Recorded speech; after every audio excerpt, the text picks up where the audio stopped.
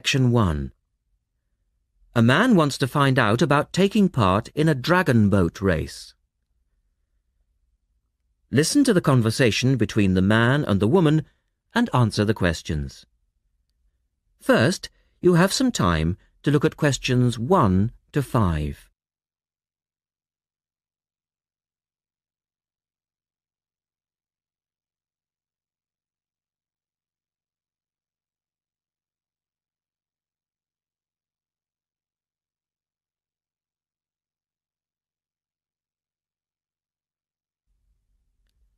Now we shall begin. You should answer the questions as you listen because you will not hear the recording a second time. Listen carefully and answer questions 1 to 5.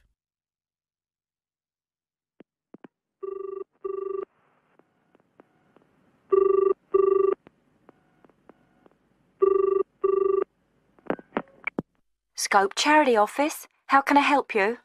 Oh, hello. I'm ringing about the dragon boat race that you're asking people to take part in. Oh, yes. We still need a few more teams. Are you interested in joining the race?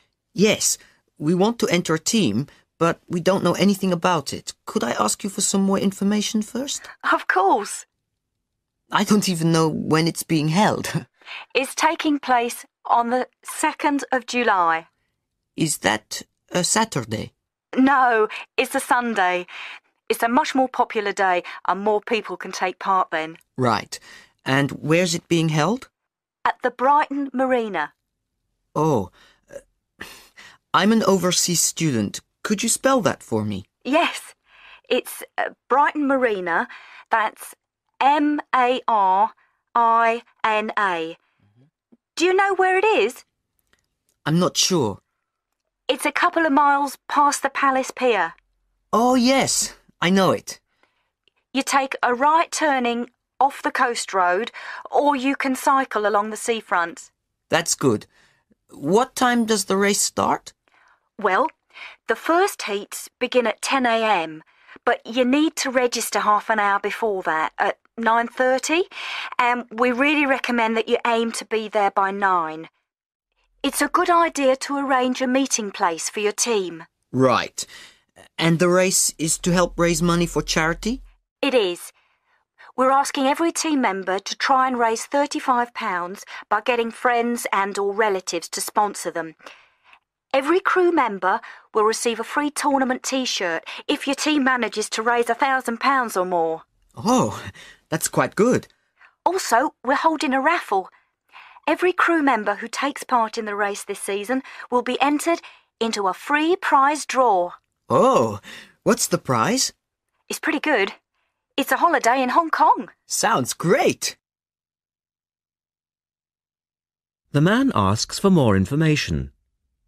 Look at questions 6 to 10.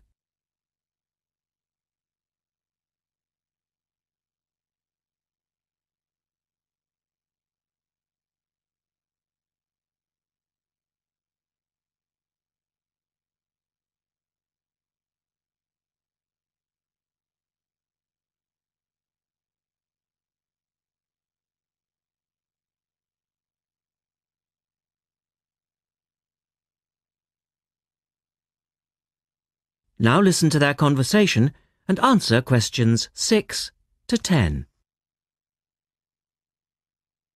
Is there anything else you need to know?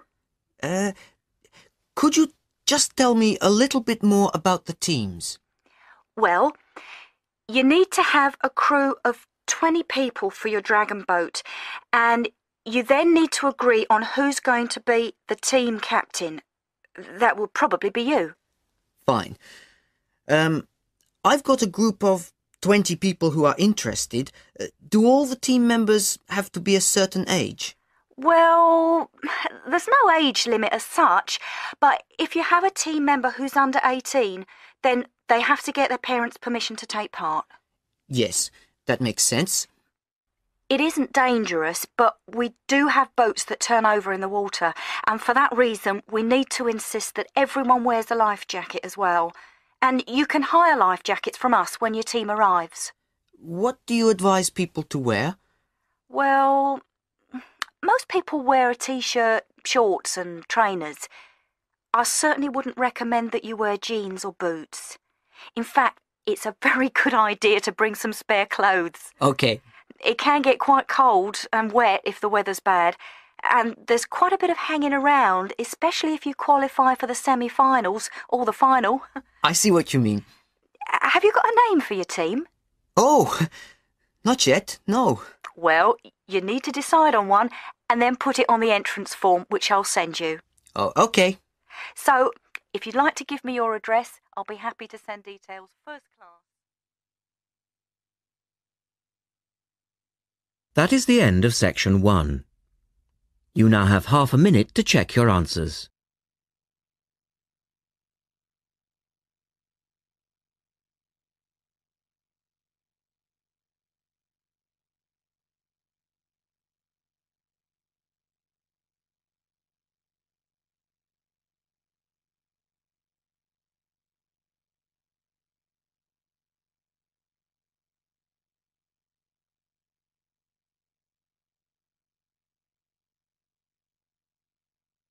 Now turn to section 2 on page 92.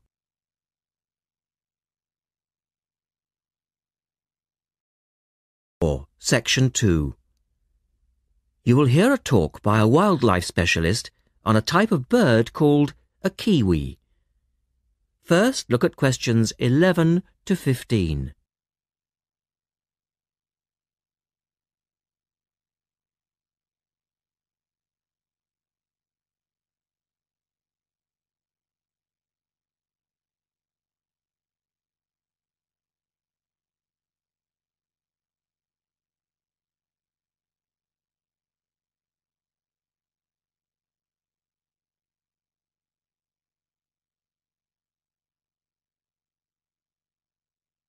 As you listen to the first part of the talk, answer questions 11 to 15.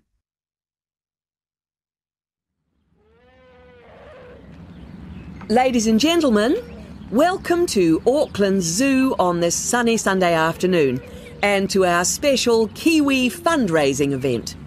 My job is to tell you all about the amazing little Kiwi, and your job, hopefully, is to dig deep in your pockets. now, for the benefit of our overseas visitors here today, I should explain first of all that the Kiwi is the national bird of New Zealand and sometimes New Zealanders themselves are known as Kiwis. Now, while Kiwis in the wild are a rare sight, the Kiwi as a symbol is far more visible. Apart from being in toy stores and airport shops all over the world, you'll find them on our stamps and coins. The Kiwi is the smallest member of the genus Apteryx, which also includes ostriches and emu. It gets its name from its shrill call, which sounds very much like this Kiwi! Kiwi! Kiwis live in forests or swamps and feed on insects, worms, snails, and berries. It's a nocturnal bird with limited sight, and therefore it has to rely on its very keen sense of smell to find food and to sense danger. Its nostrils are actually right on the end of its long beak, which is one third of the body length. Now, here's an interesting fact. Although kiwis have wings, they serve little purpose because the kiwi is a flightless bird. Since white settlement of the islands, kiwi numbers have dropped from 12 million to less than 70,000 and our national bird is rapidly becoming an endangered species. This is because they're being threatened by what we call introduced animals. Animals which were brought to New Zealand, such as cats and ferrets, which eat kiwi eggs and their chicks.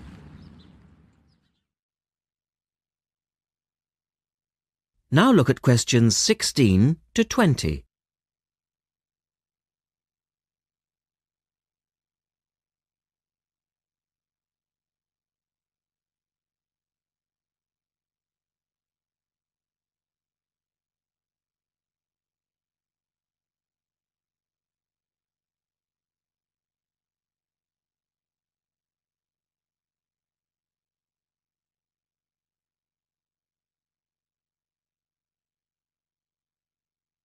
As the talk continues, answer questions 16 to 20. And so we have launched the Kiwi Recovery Program in an all out effort to save our national bird from extinction. There are three stages to this program. Firstly, we have the scientific research stage. This involves research to find out more about what Kiwis need to survive in the wild. Then, secondly, we have the action stage. This is where we go into the field and actually put our knowledge to work. We call this putting science into practice. And then we come to the third stage, the global education stage. By working with schools and groups like yourself, as well as through our award winning Kiwi website, we are hoping to educate people about the plight of the Kiwi. As part of the action stage, which I just mentioned, we've introduced Operation Nest Egg, and this is where your money will be going. It works like this it's a three stage process. First of all, we go out to the kiwi's natural habitat and we collect kiwi eggs. This is the tricky part because it can be very difficult to find the eggs. Then, in safe surroundings, away from predators, the chicks are reared. Now, this can be done on predator free islands or in captivity. They're reared until they're about nine months old, at which stage the chicks are returned to the wild. So far, it's proving successful. And since we started the program, some 34 chicks have been successfully raised this year, and their chances of survival have increased from 5 to 85%. However, it's not time to celebrate Kiwi survival just yet. About 95% of Kiwi chicks still don't make it to six months of age without protection which is why Operation Nest Egg is so important. And we ask you to give generously today.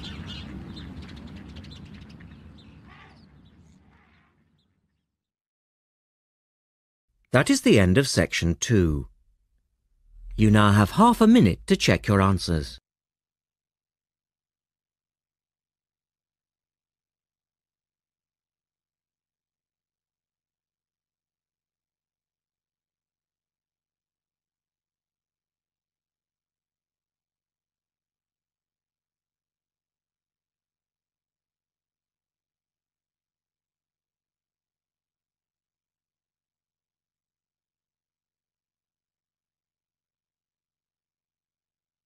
Now turn to section 3 on page 94.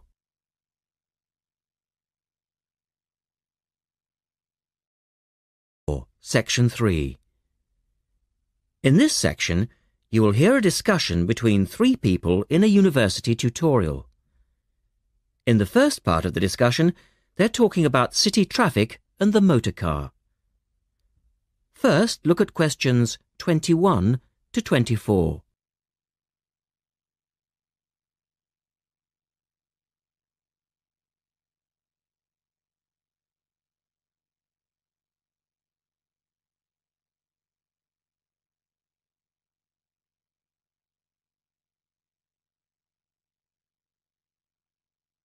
Now listen to the first part of the discussion and answer questions 21 to 24.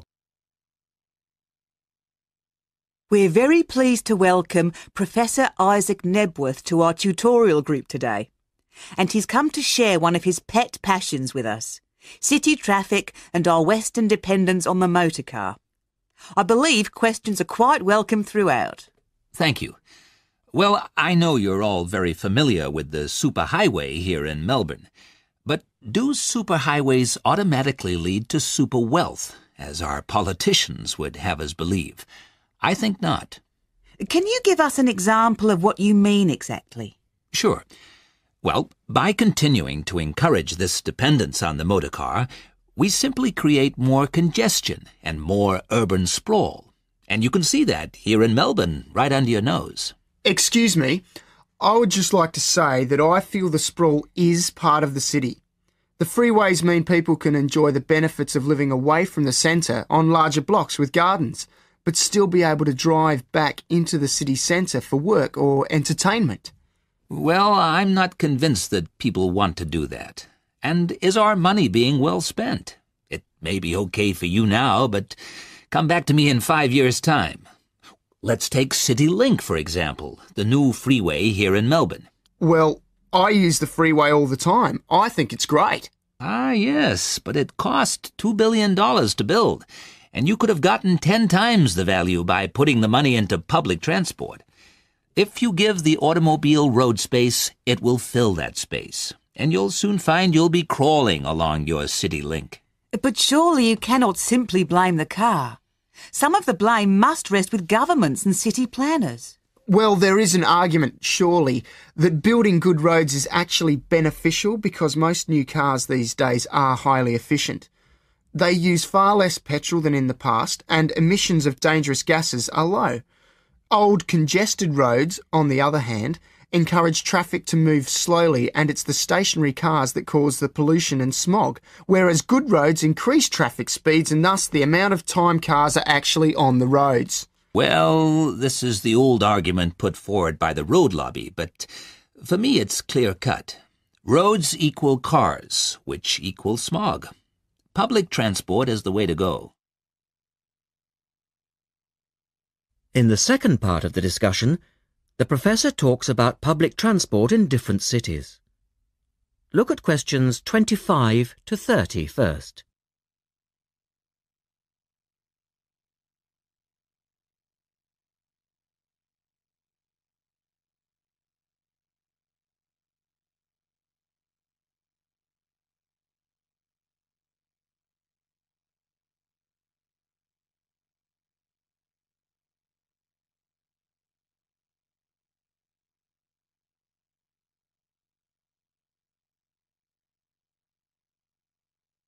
As you listen to the discussion, complete the questions about public transport. Now, on that topic of public transport, I read somewhere recently that Australia isn't doing too badly in the challenge to increase the use of public transport. Better than America, granted. But by comparison with Canada, it's not so good. For instance, if you compare Toronto with the U.S. metropolis of Detroit, only 160 kilometers away, in Detroit, only 1% of passenger travel is by public transport, whereas in Toronto it's 24%, which is considerably better than Sydney, which can only boast 16%. Well, I think it's encouraging that our least car dependent city is actually our largest city. 16% of trips being taken on public transport in Sydney isn't too bad. But it's a long way behind Europe, Take both London and Paris, for instance, where 30% of all trips taken are on public transport. Well, they do both have an excellent underground system. And Frankfurt comes in higher still at 32%. I understand that they've been very successful in Copenhagen at ridding the city of the car. Can you tell us anything about that experiment? Yes, indeed. Copenhagen is a wonderful example of a city that has learned to live without the motor car. Back in the 1960s, they adopted a number of policies designed to draw people back into the city. For instance, they paid musicians and artists to perform in the streets. They also built cycle lanes, and now 30% of the inhabitants of Copenhagen use a bicycle to go to work. Sydney, by comparison, can only boast 1% of the population cycling to work. It could have something to do with all the hills? Then they banned cars from many parts of the city, and every year 3% of the city parking is removed. And by constantly reducing parking, they've created public spaces and clean air. Really? There are also freely available bicycles, which you can hire for practically nothing. And, of course, they have an excellent public transport system. Well, that's all very well for Copenhagen, but I'd just like to say that some cities are just too large for a decent public transport system to work well, particularly in areas with low population. Because if there aren't many people using the service, then they don't schedule enough buses or trains for that route. I accept that there's a vicious circle here, but people do need to support the system. And secondly, the whole process takes so long because usually you have to change. You know, from bus to train, that sort of thing. And that can be quite difficult.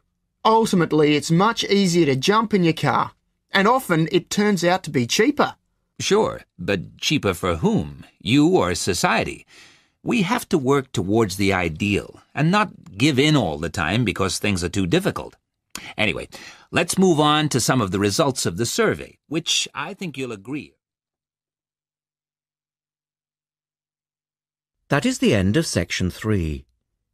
You now have half a minute to check your answers.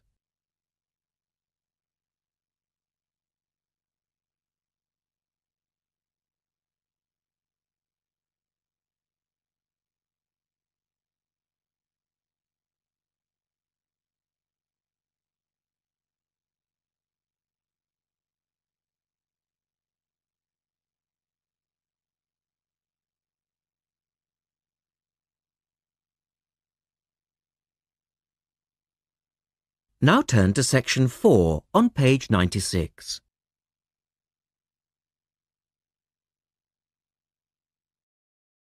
Section 4 You will hear a lecturer talking about food preservation.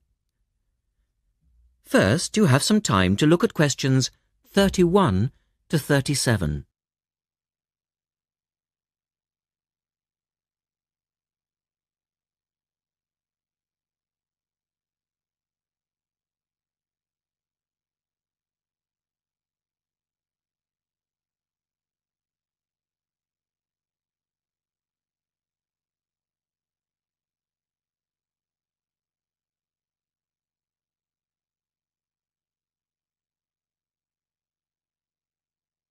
Now listen carefully and answer questions 31 to 37.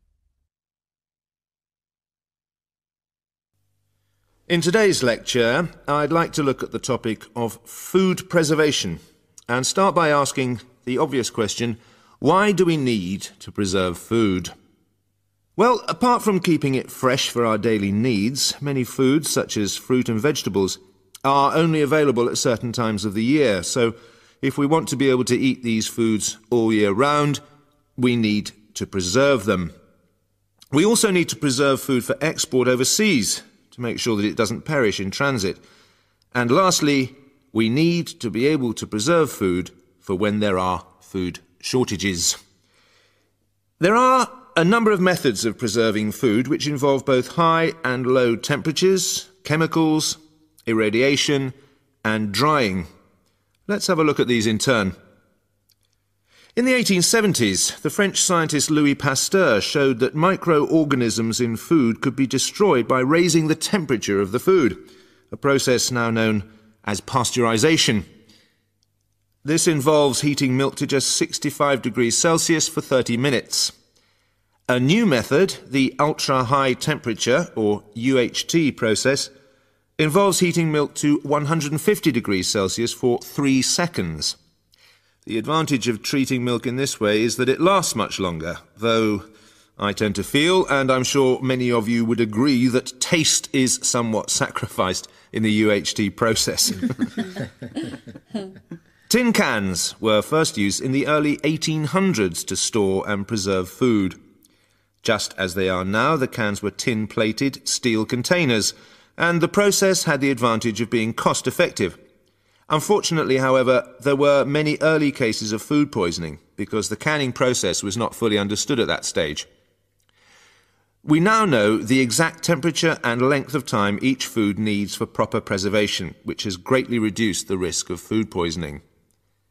People living in cold climates often preserve food by burying it in the snow, and the Romans knew all about the advantages of packing food in ice but for most people, this was not an option until the invention of the refrigerator in 1834. Today, however, refrigeration is the most important means of preserving food because the food stays fresh without needing to be treated. However, refrigeration requires an electricity supply, and unfortunately, if the power goes off, so does the food. A variety of chemicals can be added to food, and you'll find their names listed on the labels of cans and bottles. Salt is probably the oldest of all the chemical preservatives and was used by many ancient civilizations for many years. Sugar also acts as a preservative and is used to preserve jams in much the same way that vinegar is used to pickle foods. Chemical preservatives are effective, but they do not suit all foods, and the processes involved are time consuming. Another method of preserving food is by drying it. Most foods are 75% to 90% water, so if you remove the water, the microorganisms simply can't survive. When food is dried, it not only lasts a long time, but it also becomes much lighter, which is a big advantage as this makes it cheap to store. Though some people argue that valuable nutrients are lost in the process.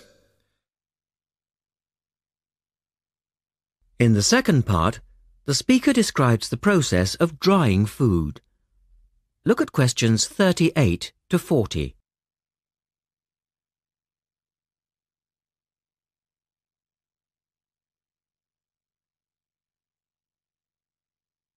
Now listen carefully and label the diagram. Early methods for drying food involved cutting it into strips and hanging it in the sun or over fires. But there are now a number of more modern methods which involve the use of recent technology. One of these is known as roller drying, and it's a highly effective way of making dried foods from liquids, such as soup. Have a look at this diagram to see how it works. Well, first of all, the hot soup is poured in at one end here. The liquid spreads to form a thin layer on a heated belt. The liquid dries as it moves along. By the time it reaches the end of the belt, all the water has evaporated, leaving only dry powder. A blade then scrapes the dried material off the roller and captures it in powder form. All you have to do is add boiling water, and you have your hot soup back again, ready to drink. Another method is called freeze drying, and for those of you who still remain. That is the end of section 4.